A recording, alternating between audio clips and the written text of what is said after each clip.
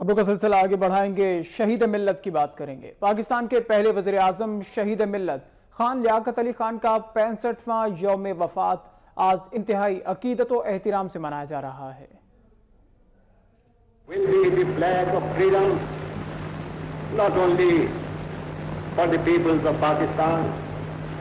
This flag will be an emblem of peace. Nawabzada Liaquat Ali Khan यकुम अक्टूबर अठारह को करनाल के एक मुतमवल घराने में पैदा हुए। उन्होंने अलीगढ़ मुस्लिम यूनिवर्सिटी से 1918 में बीए का इम्तिहान पास किया और 1922 में इंग्लिस्तान से कानून की डिग्री हासिल की। वतन वापसी के बाद उन्होंने सियासत में फाल हिस्सा लेना शुरू किया। 1926 में वो यूपी की असेंबली के रुकन मुंतखब हुए। 1933 में वो ऑल इंडिया मुस्लिम लीग में शामिल हो गए और उन्नीस सौ सैंतीस में ऑल इंडिया मुस्लिम लीग के जनरल सेक्रेटरी मुकर हुए। कायद उन्हें अपना दस्ते रास कहा करते थे। 1946 में जब हिंदुस्तान की एक पूरी काबीना कायम की गई तो वो इसमें वज़ीर खजाना के अहदे पर फायज हुए। इस वजारत के अहतमाम में उन्होंने एक शानदार बजट पेश किया, जिसे गरीब का बजट के नाम से याद किया जाता है। कयाम पाकिस्तान के बाद वो इस नई मुमलिकत के पहले वज़ीर आज़म मुंतखब हुए। 16 अक्टूबर उन्नीस सौ इक्यावन को रावलपिंडी में एक शख्स ने उन्हें गोली मारकर शहीद कर दिया।